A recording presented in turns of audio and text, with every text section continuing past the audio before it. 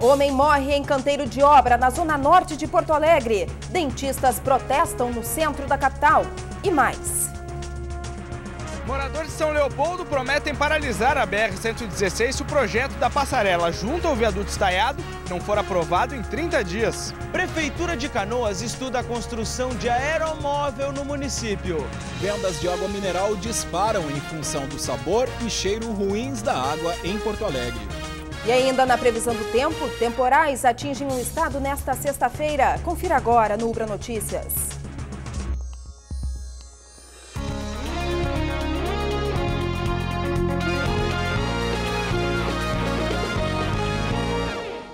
Boa noite. A Prefeitura de Canoas quer implantar o aeromóvel no município. Um estudo de viabilidade do projeto foi anunciado nesta quinta-feira e tem o prazo de dois anos para ser concluído. O protocolo de cooperação foi assinado hoje. A viabilidade técnica e econômica vai ser analisada pela Transurb e pela Prefeitura. É claro que o estudo vai olhar o conjunto, mas nós temos um foco e um olhar especialmente para o Guajuviras e Matias Velho, integrando com a estação, criando, portanto, um transporte que é é, ambientalmente sustentável. A estimativa é que só nesses dois bairros sejam 55 mil passageiros por dia. A obra pode ser financiada com dinheiro público ou em parceria com empresas privadas. Uma das possibilidades é unir o Guajuviras ao bairro Matias Velho com uma linha transversal. Ela cruzaria a BR-116 e poderia transformar a estação Matias Velho em um centro de integração dos modais. Considerando os custos de implantação e os custos de operação, é, do, da tecnologia aeromóvel, nós acreditamos que pode se viabilizar economicamente um projeto. Seria operado pela Transurb? Poderá ser operado pela Transurb, como poderá também ser operado é, por um outro operador privado, uma vez concedido o serviço. O aeromóvel é uma solução de transporte público barato e com baixo impacto na poluição do meio ambiente. A tecnologia foi criada aqui no Rio Grande do Sul, mas acabou esquecida pelos dirigentes públicos. A linha experimental foi instalada em Porto Alegre em 1983. Na capital, a implantação do veículo nunca foi adiante. Só no ano passado é que a ideia foi aproveitada para ligar a linha da Transurb ao aeroporto Salgado Filho. É uma das obras para a Copa do Mundo que está em construção. Você imagina um barco a vela, em vez de botar a vela em cima e esperar o vento soprar, né? Essa vela está embaixo, o duto é um, um túnel de vento, vamos dizer assim, né? e você empurra e puxa o veículo com, com ar, gerado por ventiladores estacionários. Isso aí dá uma extrema uh, leveza para o veículo, mas isso não é o mais importante. O mais importante é que é, é um conceito que não permite, por exemplo, o abarroamento entre veículos. Isso é, é a segurança é muito importante. E nós temos um sistema operando na Indonésia há 23 anos eu não tenho até é, cuidado não falar isso, mas esses 23 anos não, não houve um acidente como esse em Porto Alegre também. Nós já operamos ele desde 1983 sem problema nenhum. As vendas de água mineral aumentaram 20% em Porto Alegre. Segundo a Associação dos Distribuidores, um dos principais motivos do crescimento do consumo é a presença de sabor e cheiro na água que sai da torneira. Em função da estiagem prolongada, houve proliferação de algas no Guaíba, deixando a água tratada pelo DEMAI com gosto e cheiro ruim. Muitos consumidores passaram a usar água mineral, vendas subiram, atingindo, em média, 150 bombonas por dia em cada estabelecimento. A Associação dos Distribuidores estima que a comercialização do produto cresce 5% a cada semana sem chuva.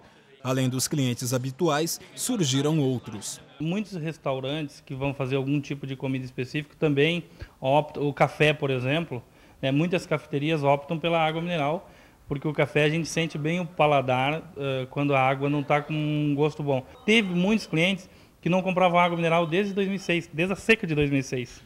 E esse ano a gente começou a perceber, pelo controle que existe no sistema de troca de garrafões, que começaram a retornar garrafões de 2006, que desde lá não eram usados e esse ano começaram a aparecer. Isso significa o quê? É, que há clientes que só compram água mineral quando há esse problema no Guaíba. Apesar do aumento nas vendas, os distribuidores descartam o risco de desabastecimento de água mineral. Os preços vão de R$ 7 a 10 reais pela unidade de 20 litros. O Rio Grande do Sul é um celeiro de água mineral. Né? A gente tem uma indústria bem capacitada, Né? A mão de obra nossa no setor de água mineral é uma mão de obra bem capacitada.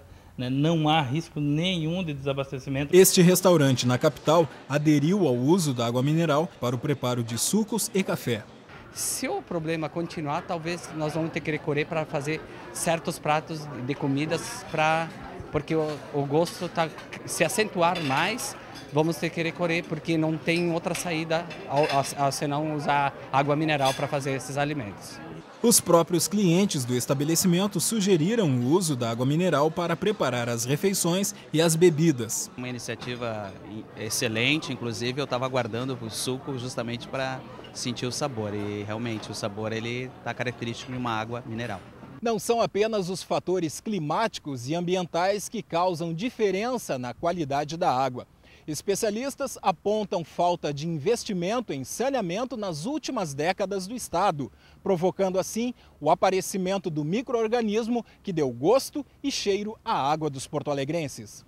Há necessidade de, de investimentos né, no tratamento de esgotos das cidades. Isso seria um princípio para controlar essa, este fenômeno que é ciclo. Usualmente ocorre durante épocas de estiagem, e temperatura mais quentes. Mas este, uh, um, ele se deve também né, justamente à presença de nitrogênio e fósforo nos esgotos sanitários não tratados. Nitrogênio e fósforo são fertilizantes, da mesma forma que fertilizam uma, uma, planta, uma plantação agrícola, dentro da água eles fertilizam a água. O principal dano que ocorre né, é, é o consumidor deixar de confiar na água potável que é distribuída na rede pública. Né? A assessoria de imprensa do DEMAI informou que a direção não gravaria a entrevista. Em nota, afirma que a água em Porto Alegre pode ser consumida normalmente. A potabilidade está garantida pelas análises feitas pelo DEMAI e os resultados são enviados aos órgãos de vigilância competentes. Dentistas protestaram hoje no centro de Porto Alegre. O Sindicato dos Odontologistas do Rio Grande do Sul decidiu orientar os profissionais para suspender o atendimento aos planos de saúde da rede UNA. Ela é o resultado da fusão de pelo menos nove planos sob uma mesma administração. Com isso, o valor de uma consulta pago aos dentistas é de R$ 7,00. Para atender o Odontoprev mais os outros planos, tu tem que entrar para a rede UNA. Aí tu entra para a rede UNA. E eles mostram como se fosse uma vantagem, mas na realidade a tabela diminuiu até 65%. Não cobre nem custo, quer dizer, como é que o dentista vai atender por esse valor? Se tem dentista atendendo rede una, é porque eles negociaram um valor um pouquinho diferenciado a maior, porque a maioria dos dentistas estão parados. De acordo com o Conselho Regional de Odontologia do Estado, a rede UNA reduziu em 65,5% o repasse de verbas pelos serviços dos cirurgiões dentistas. E por este motivo, a categoria estaria em paralisação nacional. A Odontoprev, que administra a rede UNA, informou que a adesão da categoria é voluntária. A nova proposta eleva em até 50% a remuneração por alguns procedimentos. Ainda segundo a Odontoprev, não há registro de paralisação aqui no estado. A Polícia Civil Gaúcha prendeu quatro pessoas suspeitas de participar de homicídios ocorridos no começo do ano.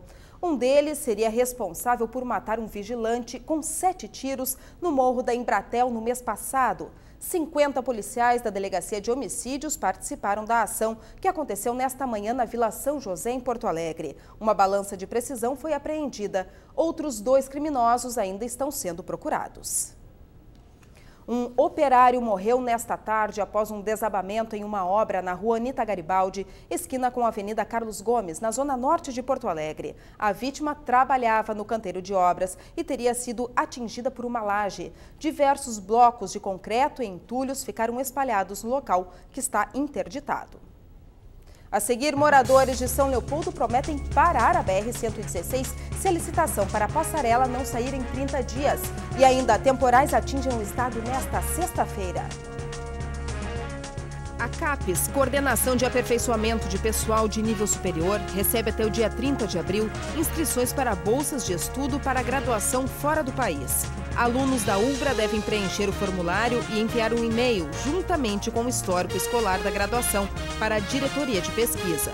A Conect RH Consultoria e Assessoria Organizacional recebe currículo para emprego em Porto Alegre região metropolitana. As vagas são para as áreas da construção civil e metalurgia.